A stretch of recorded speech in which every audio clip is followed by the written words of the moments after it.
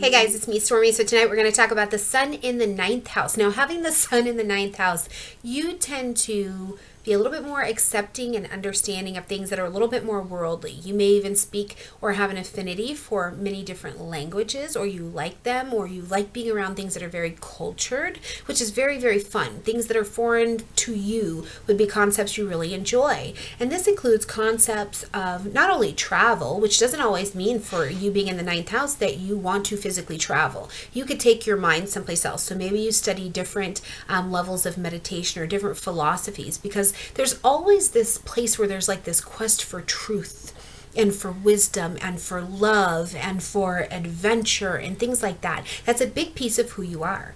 But what really drives, I think, people who have their sun in the ninth house is this space of philosophy, right? Like you want to gain a lot of knowledge, but you also want to share a lot of knowledge, which can look a couple different ways you know, maybe you are out there and you are just celebrating diversity and people's point of views and things like that. Or you could also be that person who is out there um, sharing all of the things that you've already learned, even if they're not your own original teachings and ideas. But you are the adventurer.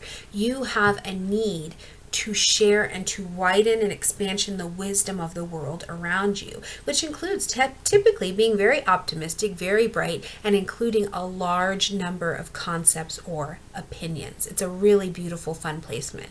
I'm actually a ninth house Taurus, so.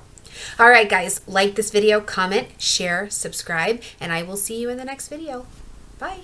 Hey, thanks so much for watching my video and stopping by my channel. I hope you like the video, comment, share, definitely subscribe because we're doing 90 videos in 90 days on this channel. New learning content every single day, a minimum of one video every day. So I hope to see you back tomorrow.